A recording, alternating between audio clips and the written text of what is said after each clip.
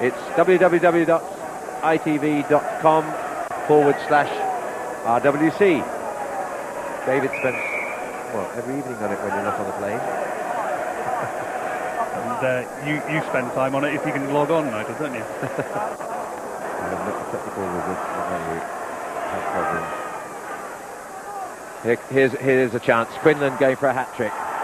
Pirouettes through one tackle is brought to ground, two metres out. There are men outside here. Well, they're overcomplicating themselves, and uh, O'Driscoll was running into his big number eight, Miller. Now it's Guy Easterby, stretches and gets. Guy Easterby, the scrum half, just a couple of minutes on as replacement.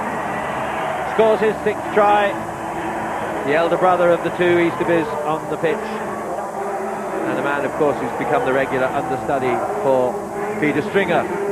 Well, I thought there might have been some illegal blocking there. You see Shane Byrne and the other player go and drive the tackler off. But the referee happy with it. The guy used to be strong enough. There he is, held up there. Brian O'Driscoll's the other cover, taking the tackler off in front right. of the ball, but far be it from me to referee games. I never used to do that at all. Yes, that's uh, shades of American football, I think, in that movement.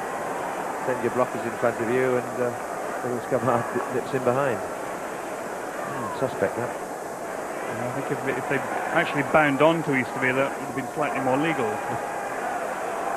O'Gara, that's a fine kick again. And in these conditions, you know, it's that much more difficult. That's superb kicking. And there's some happy Irishmen in the crowd. It's 45 points to 7, and we're into the last quarter of the match.